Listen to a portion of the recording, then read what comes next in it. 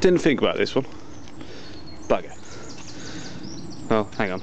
Um, that's what separated me from those stairs. Oh well, have to do the old-fashioned way. There we go. Right, up we go.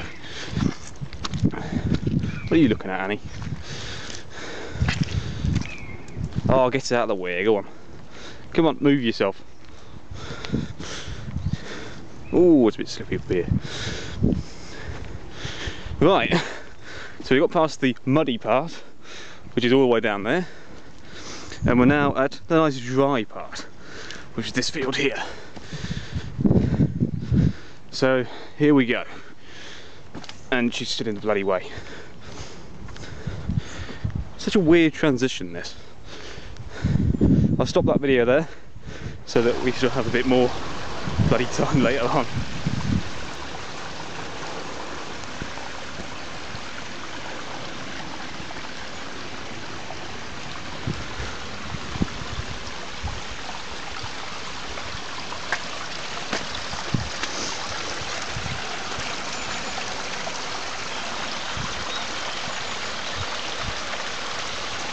The slightly more tranquil spots you'll find in Bristol.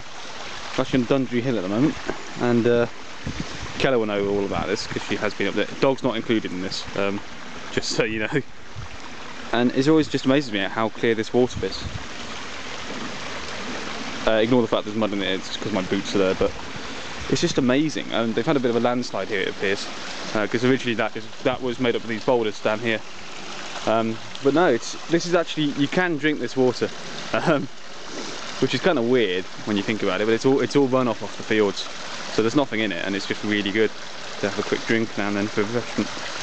Um, that was the original waterfall there, because um, obviously the water would come down off the uh, hill here and run through this bit. There's a pipe in there, and it would just go all the way down there. But obviously, someone or something has moved these, and we've now got a nice new stream and that so yeah and she loves jumping in it. Because she's a Labrador and that's what Labradors do. Isn't that right not even listening. What? And she's found something interesting to do. Right I'll stop that video there. And uh, there's actually writing on here. Hang on. I did that thanks Annie. Don't know if you can see that but there's actually writing inscribed onto the stones of the uh, waterfall here. It's not English, I know that much. Oh, hang on, surfaces to line that something. It's like it's some sort of I don't know, it's it's weird really. I don't know. Anyway, that stream goes all the way down to the bottom there. Um, I think it connects up to one of the streams down in actually um, and Withywood and Whitchurch down there, but I don't know. And if you're wondering where we came from, the next tree line along that way is actually where we just walked through with all the mud. So this is how close it is to my house. It's like less than a mile. It's ridiculous. Right, let's get on with some journeying. And I've got so mud here we are. my hand now. Thanks, Granny. Well, almost you really are a pet. Um, quick kind of, I wouldn't say tour, just kind of pointing out some things. You've got, this is Hartcliffe below us here, um, where those flats are basically. That's the end of Hartcliffe and it goes on for about another mile and a half um, over in that direction. That over there is actually Withywood, um, where you can kind of see these houses just around this area, and then there's a field just in the middle, and that's that's the start of Whitchurch, then carries on that way, sort of thing. And it always astounds me just how quiet it is up here, with the exception of um, low-flying aircraft going to Bristol Airport. That's the only downside, um, and of course annoying dogs which wander off without you and that. But down here is a little pathway into that field there, into the next field over there.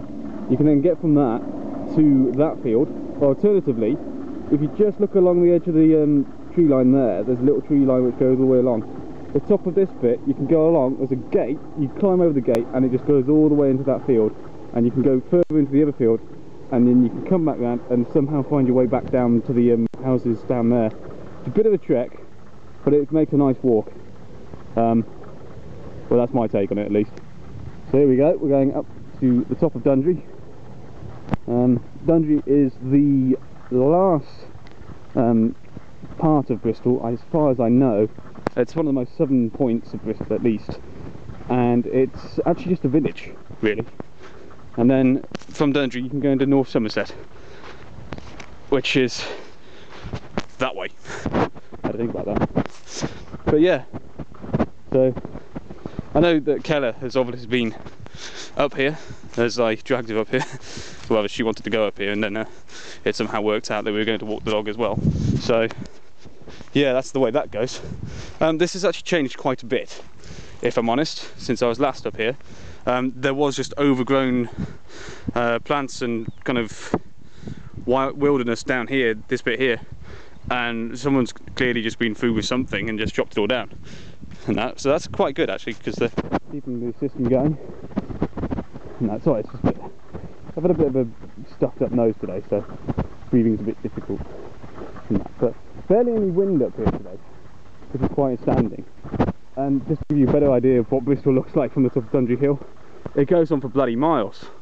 And now what you're seeing is basically South Bristol there, most of it. And then you've got the city centre, which is not actually visible at the moment, that's great. Kind of in that direction over there, kind of just in that sort of region. And that. Then you've got Filton, which is far away that way. Then you've got all of that stuff there, which is Downend, Stockwood, Kingswood, um, Longwell Greens over there as well. And my camera's getting a bit wet now, as it's just started raining, of all things. Bit of a cloudy start. We are actually in the cloud up here, which is probably why it's raining. And that, that's, that's what all this kind of mist is, it's actually just low cloud level. And I'm standing in it, which is always good.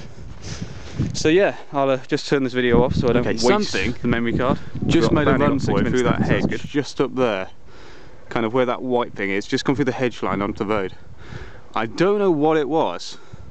Um, it kind of looked a bit like a sheep, but it looked slightly too big sheep. It could have been a deer or something, and that. And uh, to give you some idea of what how close Bristol is to Somerset, and just kind of how crazy English countryside can be. This is North Somerset, all the way around here, going into Chew Valley Lake, which is a big reservoir where you can fish and it's got really good um, kind of dog walking facilities down there. And that you've got the Mendip Hills, which are this range of kind of hills you can just see looming out the mist here. And on the other side of things, you've got Bristol City, which is over there. And that just spreads out for bloody miles, and it's really annoying and that. Um, we are actually at Manning's Wood, according to this lovely sign here. Um, I'm not really sure why it has that there, because no one really takes any notice of it. Oh, and also this is just makes me laugh every single time. Excellent. so you're not allowed to ride up here, but you can bring your dog up here, and that. It's raining quite badly now, um, as you can probably tell by the uh, splashes in that pool over there and the dog. Um, there was a stile here um, there is no longer a stile which means I'm going to have to do some sort of kind of ninja kind of thing with the camera that, which is not the best idea but we'll see how it goes but to give you an idea you've got farms one farm there another farm on top of the hill over there which I've missed there it is another farm along there we've got the Dundry pylons there's one over there and that one there and Dundry village is actually kind of it's in between those two, but it also goes halfway down the um, the mountain as well. Sorry about the wind noise. I am actually in a very open place, as you can see, and I'm going to try and get over this stile in that. We've got seven minutes, so every time I turn this off, it keeps going up, which is nice. So let's find out how I can get across the stile without dying, and I did. Excellent. That's always a good plus. Right, and now a gate. Terrific. Um, oh, I haven't even said today's date. Today's date is the 30th of December 2011. Um, it's about quarter to 10 in the morning. Don't ask why I'm up here at quarter to 10 in the morning, I don't really know. That kind of hurt. So I just whacked my balls onto a uh, large metal thing, and there appears to be a van down here. What is going on? I'm not really sure. And Annie's looking at me in the weirdest way possible, as she always does. I just realised we've actually zoomed in here. Um, so I can't zoom out banning when I'm recording. slightly annoying. I don't know what this van is doing here. It's a bit weird, but that gives you a slightly better view than that. there's a lot of villages down in the um, just these rolling hills that you can't really see too well. It's a bit annoying, but uh, I know you've got Pensfield, I think it's Pensford down there, there's Chew Magna, um, Barrow Gurney is not down there, it's kind of in this sort of direction here, behind these hills. Um, I know you've got um, Chew Stoke down there as well, which is really good, it's got a really good pub in Chew Stoke actually. Really kind of country pub down there for locals. Just a good uh, baguette down there actually. And uh, so yeah, this is basically where I take Annie in the morning when I go up Dundry. So you come all the way up the previous videos. Um, I didn't take a video of going me going up the hill towards Dundry from Hartcliffe because uh, it's just mad, basically. So yeah, this is where I take it. Sorry about the wind noise again. I can't really gauge how loud it is on the video without stopping the video and replaying it. So appears this guy has either crashed his car or it's been dumped or he's gone for a walk. Or all three. Who knows? Another gate, which we have to get through. And that just wet my ass. And Annie has found a bag. Excellent. Just what we need. There's a strong smell of cows around here, which is unsurprising because that's a dairy farm right there. Will you move? I want a bone. Excellent. I just stood on the bone. Come on. Oh, I see. They put the thing down. Excellent. That's normally not down, that um, barrier thing there. But oh well. Still don't know what that animal was that ran off. Oh well, guess I'll never know. I think it was probably a sheep. Anyway, don't know if you can hear that video there before I, fall over. no idea I'm gonna what slip. that is. Oh, hang on. See if we can actually get a better view of this. Not on the camera at least, but some sort of military aircraft helicopter. Oh, it's a Sea King. Okay, so that's what's up. Yeah, basically, um, I've just realised that coming up here was a bit of a bad idea in this sort of weather. And I will show you why. The reason why it's such a bad idea is this. Coming up, it wasn't too bad. Going down is something completely different. And I'm not looking forward to it. Brilliant. Right, better get on with it. If uh, the camera doesn't work later on, you'll know why.